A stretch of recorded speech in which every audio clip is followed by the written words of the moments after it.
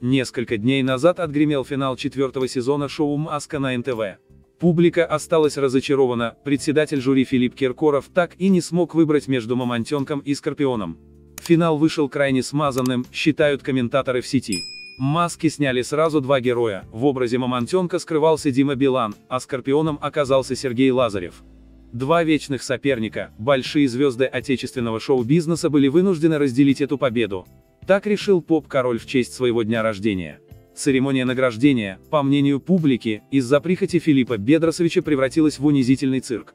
Киркоров долго вспоминал Евровидение, в котором когда-то победил Билан, зачем-то упомянул Яну Рудковскую, а потом и вовсе заявил, что статуэтка победителя всего одна, и отдаст он ее мамонтенку, потому что Скорпион, конечно же, не обидится.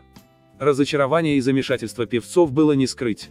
Билан выглядел потерянным и явно уставшим, Лазарев усердно пытался отшутиться и сохранить достоинство.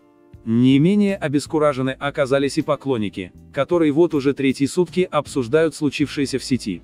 Досталось всем, но главные претензии, конечно же, предъявляют Киркорову. Оба исполнителя, по мнению зрителей, были достойны победы, но председатель жюри своей работы не выполнил, так и не сумел выбрать одного из них. Филипп опозорил всех. И себя, и Билана, и своего протеже Лазарева.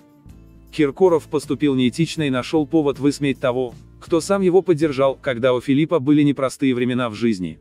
Киркоров нес ахинею, а его подопечный сквозь фальшивую улыбку кидал подлые шпильки в адрес Билана, который уделал его по всем фронтам, пишут в комментариях интернет-пользователи. Неожиданно у фанатов родилась версия о том, что на победе Билана настояла его продюсер Яна Рудковская. Некоторые уверены, что председатель жюри неспроста вспомнил о ней и выбрал двоих победителей вынужденно, хоть сам и был настроен отдать статуэтку Скорпиону. Это Рудковская додавила, но окончательно Филипп не сдался. Нужно было хотя бы лучше скрывать свою предвзятость, Фил. Возможно, не обошлось без Рудковской. Она и не скрывала, что очень активно болела за Билана, пишут в сети поклонники шоу. В зале во время финального выпуска присутствовала и сама Яна вместе с сыном Александром.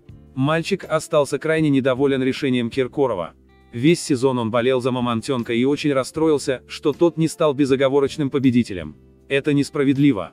Слава, Билану! выкрикнул гном Гномыч, показав Филиппу Бедросовичу опущенный вниз большой палец.